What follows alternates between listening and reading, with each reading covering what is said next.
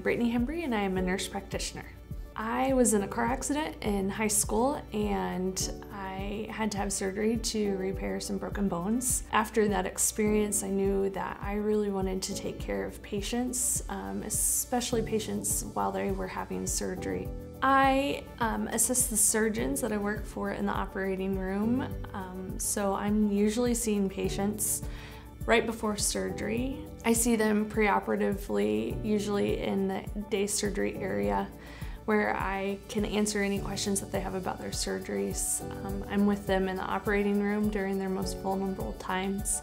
I'm passionate in making sure that our staff know what we're doing, why we're doing it. Um, so education with the staff as well as the patients. Part of my role is making sure that we have what we need for each of our surgeries. So the doctors may communicate with me, you know, we need a certain piece of mesh for this surgery. So it's part of my role to make sure that everybody's on board um, in the operating room and making sure that we have everything that we need for the patients.